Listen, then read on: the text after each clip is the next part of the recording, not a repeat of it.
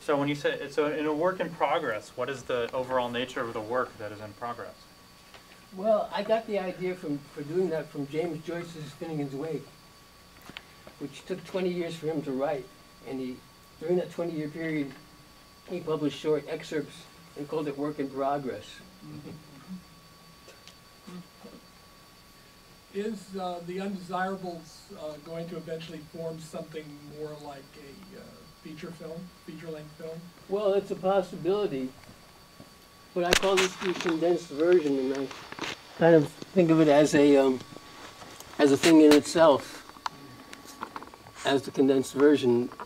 Some people have told me they, they find it interesting this way. Now, how long has the filming been taking place for this piece? Uh, Undesirables was almost entirely filmed in San Francisco approximately 10 years ago. And we added the conclusion more recently. Mm-hmm.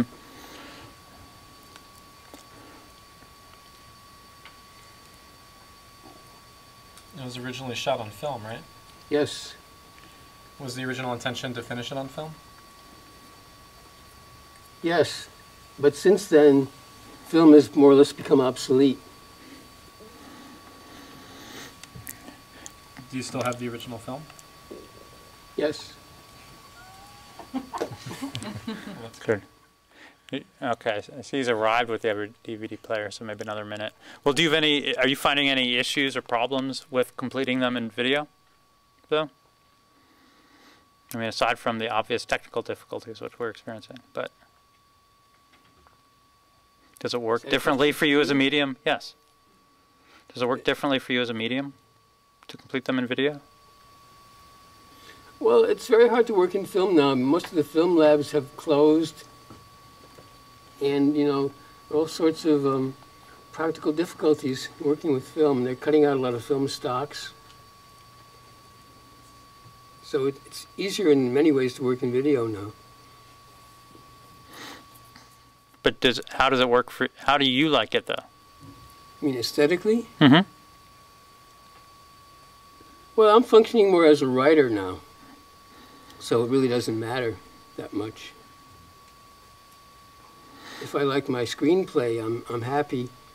Then whatever happens after that, it's up to the gods.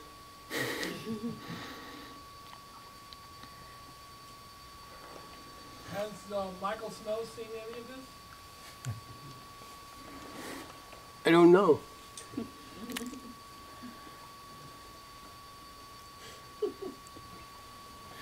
Oh, what about the, um, we're gonna show, when are you gonna show the, uh, Thanatopsis and, um, Well, I thought after we show the next video, if it works. Hold on a minute. Let me see what he's saying. we're also showing two Ah, of here the we- films that were used for the pastiches in Undesirables, the original films by Emshwiller and, um, Frampton. Yeah, we're going to show those after this next piece. I thought we would do some more Q&A.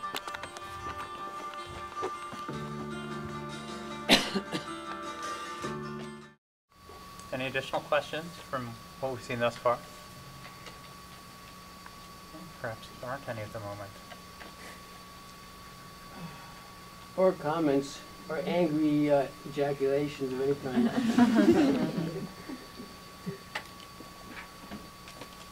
What happens to Christian after that experience? What's the next thing? Um, he turns into a Christian tantric.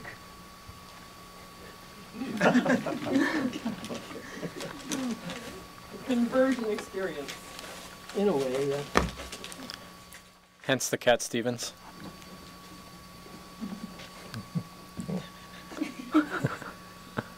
Yes, did you uh, choose the Cat Stevens for that conversion element as well? No, just simply the because song? I, I like the song.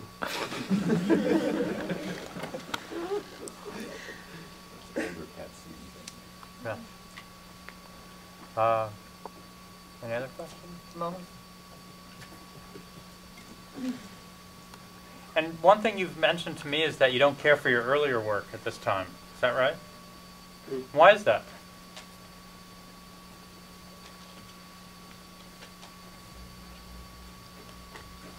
I don't think care for is the right word. I would say I hate it.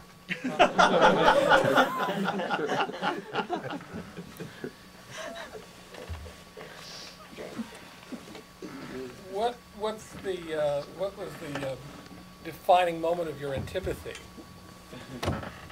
to your early work in this regard? Well, if you if you viewed my my work chronologically, you'd see that there are quite a few changes Oh, yeah, in subject matter and in um, technique. yes technique and form. And I think that would almost answer the question by itself. So the chances of you doing anything remotely like uh, Fleming Faloon are remote to zero. Well, I was a, a college student, art student in art college at the time. I really hadn't formed my uh, my mature aesthetics. Would you say that your more mature aesthetics came in around the time of, say, Wide Angle Saxon? I think that's when it started. I still like a lot of parts of On the Marriage Broker joke, Oh, yeah. but anything prior to that I find very hard to watch now.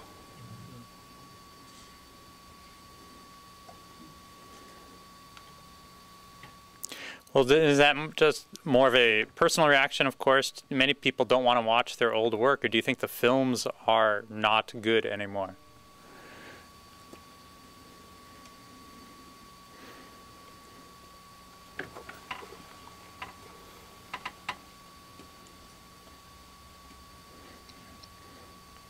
Trying to analyze your question. um, do I think, you're saying, do I think the films are not good? Not that, do I think the films are not good anymore?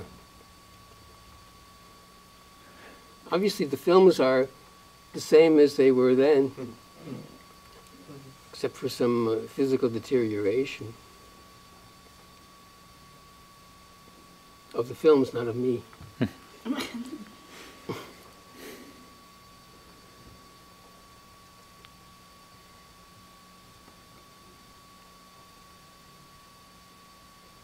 Well,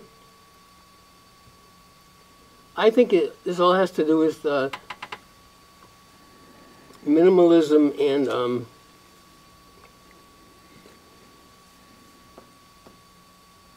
um, various trends in the art world in general. Um, when I started making films, I was a painter, and painters really were not using subject matter at the time. They'd eliminated subject matter. Even the most extreme would be somebody like Ad Reinhardt, who eliminated color, line, drawing, representation, etc. I think some of my early films partake of that approach. They have no real subject. And I see them as formal exercises. Suppose that's why I, I feel they're incomplete as an experience for me. Not just my films, but most of the art made in the world since um, the 19th century.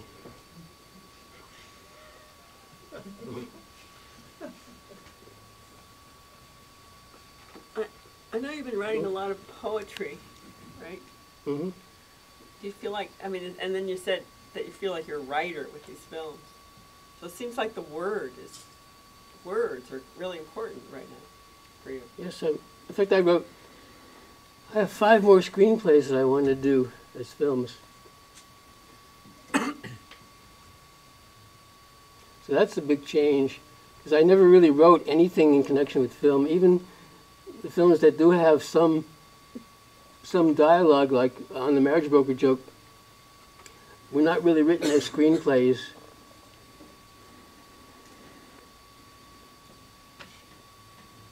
And there was no script per se.